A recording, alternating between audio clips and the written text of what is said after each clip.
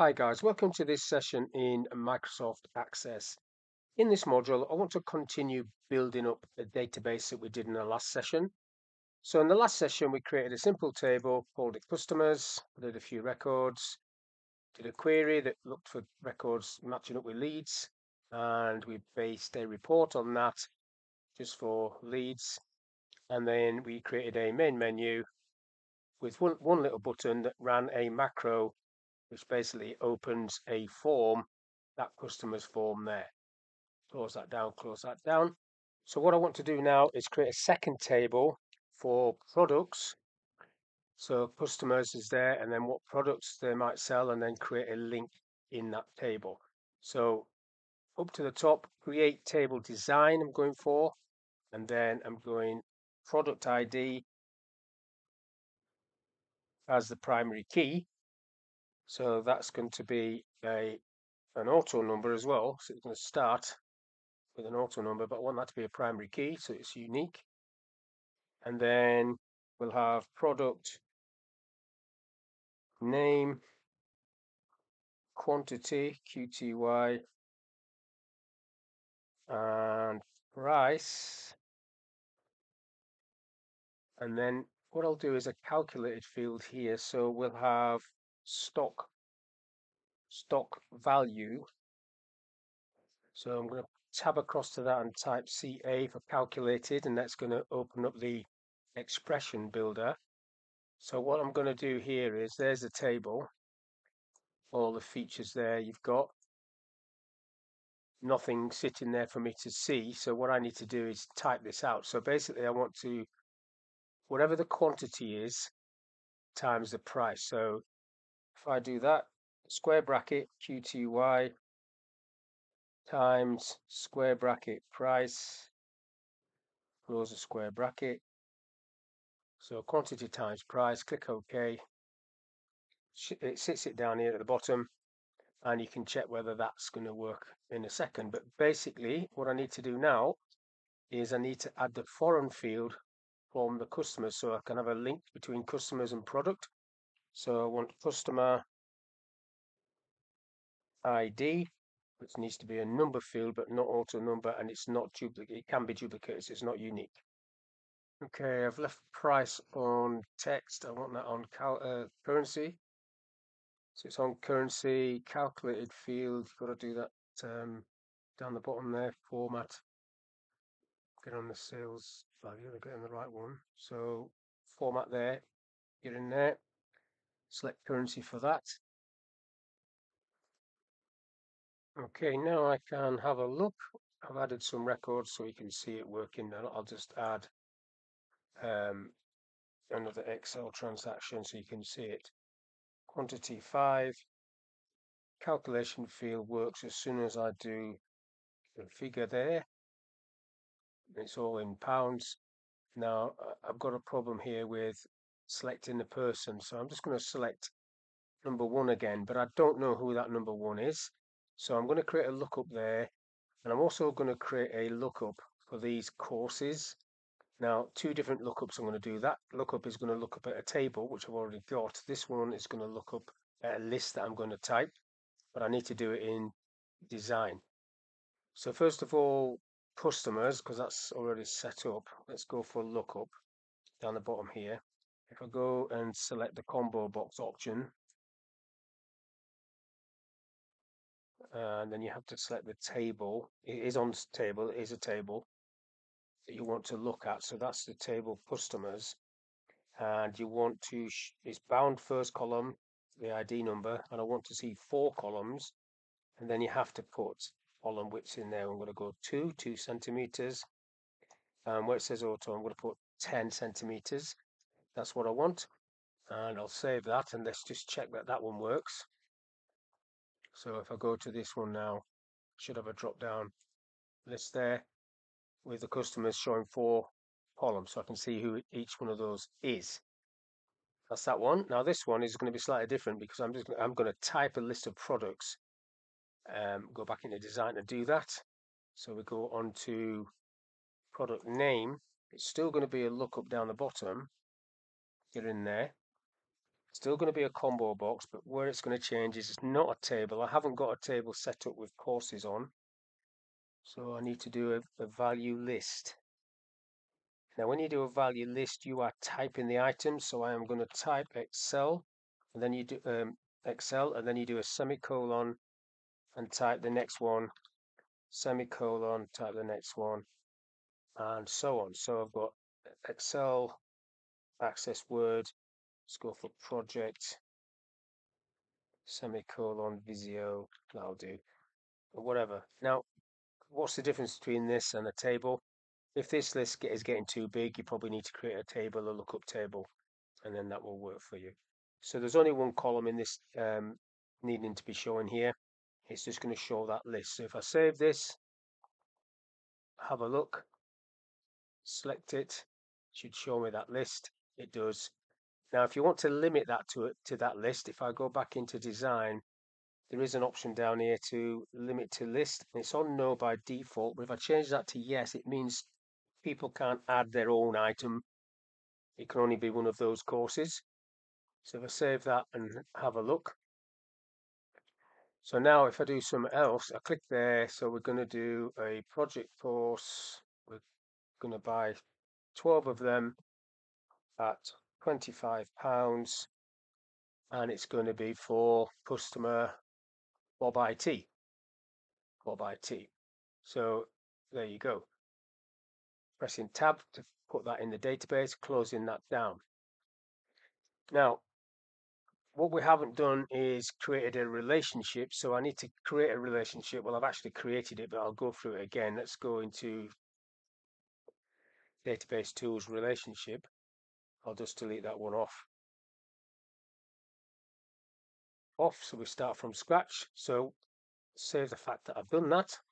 So you pull on the tables that you want to relate, and then you go from the primary key in one table to the foreign key in another.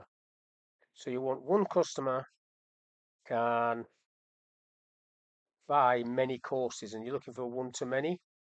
Now I always recommend that you tick this when you're setting up a database and force referential integrity because that will stop people creating a company in there, a customer that doesn't exist in there which is good.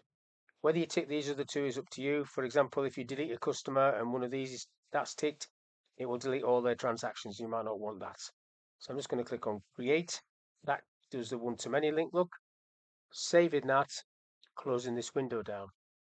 Now what I want to do is create a form that's going to look at both of these. So at the moment, if I open this one, we've got a form it's just looking at customers, which is okay if you're adding a new customer.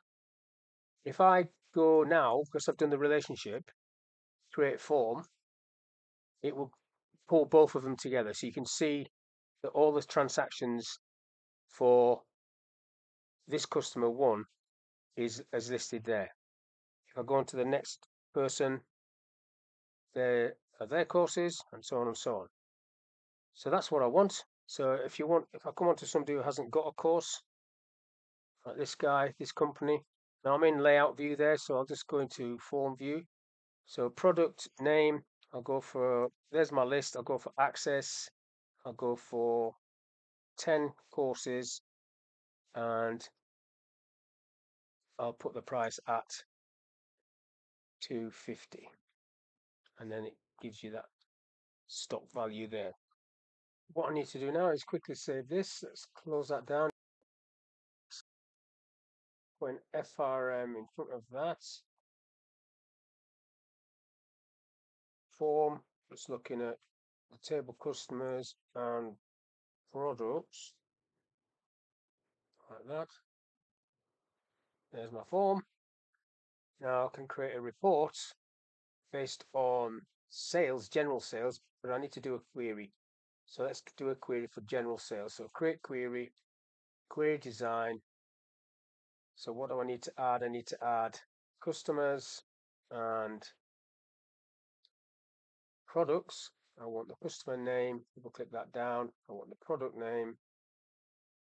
I want quantity, price, and stock value. Let's have a look at that. So that should give me a list of all of these, the total stock value. And if you want, you can add these things at the end there. You can do total sales if you so wish. Saving that. QRY customer sales.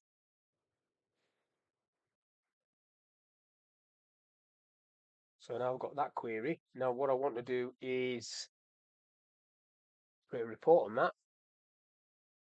Create a report. I'm going to use the report wizard because I want it to group them by customer. So I'm sending everything across.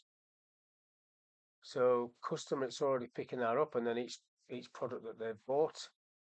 I'll go next. And do I want to group by anything? Not really. I could put product name, but not really. Um, next, summary options you get because there's figures and there's calculations in there. So you've got stock value. I might want to do a sum on that. Maybe a percent. Okay. And then next is all about layout. I want it in landscape. Next, then I'm going RPT in front of all of that for reports. Looking at the table customers, products.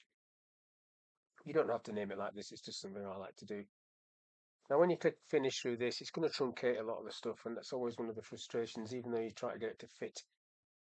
So it has actually grouped it by customer. It's put all this analysis in there, but you can see at the end there, it's, a lot of it's truncated because there's a huge space allocated there you can actually create this yourself and I'll do it on a different uh, session but I'll just go into design on this now and see if I can fix it a little bit go into design I don't really want all that on there that's a lot of waffle that's not needed this is a big gap here look quantity it's given that massive space when it's only a small figure so if I bring that across back over so it's in line with the label and then maybe I can just then pull these over to come into view and you can see the one at the end is the one that's truncated, uh, truncated. So if I get in that one, widen that a bit.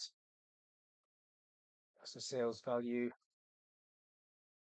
Then you've got the labels at the top there, so it's slightly down a bit, and then price, like so, and then you've got these, same thing, pull these in.